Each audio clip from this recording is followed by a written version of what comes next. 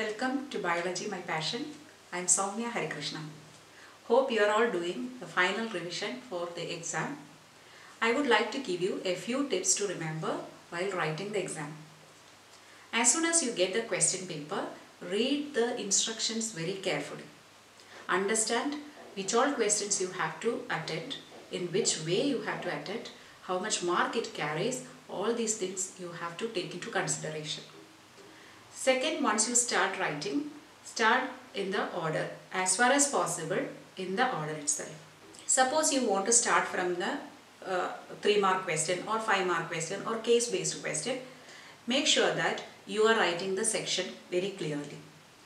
Before starting of each section, mention the section, whether it is section A, section B or so. After that, within that, don't change. For example, even if you are starting with section C, okay fine. But write all questions of section C together. Again, don't mix up. Suppose while writing, if you do not know one question, you know how much space it will take approximately. Leave that space and then continue. So that later you can come back and fill up that gap. Another thing, when you are writing the section, even if you are writing the section in the reverse order, starting from the last section towards the end, but within the section, write the number sequentially. When you write MCQ questions, make sure that you are writing the option and the answer, including assertion reason questions. Write legibly and neatly. Present your answer very neatly. And write precise answers. Please avoid repetition and confusion in your answers. Make it very clear. But very important to understand what is expected from you to answer. Because most of the students simply by reading the question, they write what they know. But more than that, it is important to read the question thoroughly to understand what is expected to write and you have to answer that. For case-based questions and assertion reason questions, read the question repeatedly to avoid any mistakes. When you are drawing diagrams, use only pencils to draw the diagram and label with only pencils. And the diagram should neither be too large or too small. You can use a medium sized diagram, uh, maybe 3 to 4 lines depending upon the length of the diagram. For example, if nephron and all are drawing, you may require more space. That adjust that. Biological diagram you can draw to a left side so that right side you will get some space for labeling. Labeling is very important for any diagram. And ray diagrams or a circuit diagrams when you are drawing, make sure that you are giving the direction using arrow marks. Ray diagram should be drawn with a proper sharp pencil and scale. When you are attempting numericals in physics, first you read the question twice and understand what all things are given.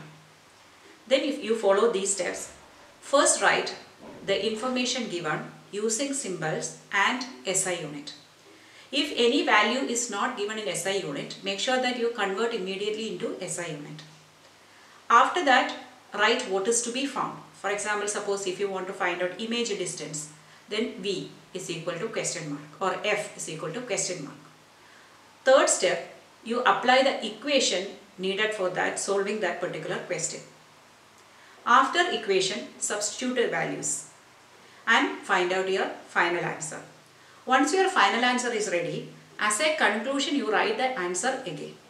For example, especially in the case of uh, the light problems, they may ask you the size of the image, nature of the image, all this and position of the image. So literally write all these below the answer as a conclusion. Wherever necessary, draw diagram even if it is not asked. To substantiate your answer, if you require a diagram and you are thorough with the diagram, go for it. But always make sure to manage your time well. Whenever questions from heredity is asked, if it is a 3 mark question or for 4 mark or 5 mark questions, please ensure that you are drawing the cross to show the answer. So first write the cross, derive the answer, then answer to the question. Now coming to the sub questions. There may be questions with a A part, B part, C part. Sometimes students write A, then you forget to write B and C or you don't mark B and C. In such questions, it's very important that you are writing A, B, C separately. Suppose the B answer already included in A, but still you have to rewrite it as B. Each part should be answered separately so that the examiner will evaluate accordingly. Otherwise all the answer will be considered as A only if you don't mention B and C. So again the numbering. Some sub questions may be given as A, B, C. Some questions may be given as 1, 2, 3.